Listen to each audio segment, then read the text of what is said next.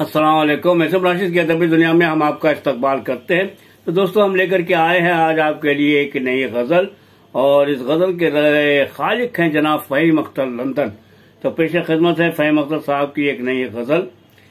तो तैयार है आप? सुनने के लिए? जी हाँ मैं जानता हूँ, बहुत बेचैन और बेकरार होंगे। फ़हीम अख्तर की नई गज़ल सुनने के लिए तो पेश खिदमत है। पास है कोई न कोई दूर है। पास है, कोई न कोई दूर है। ज़िंदगी क्यों इस कदर मजबूर है? ज़िंदगी क्यों इस कदर मजबूर है?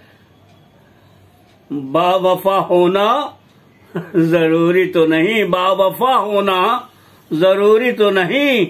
बेवफा होना भी एक दस्तूर है। बेवफा होना भी एक दस्तूर है।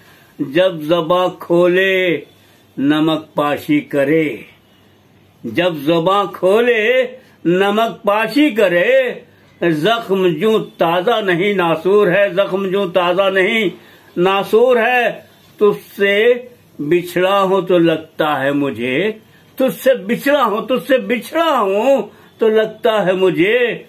गमजदा होकर भी दिल मसरूर है, गमजदा होकर भी दिल मसरूर है। बेच कर शर्म हया अपनी फहीम बेच कर शर्म हया अपनी फहीम।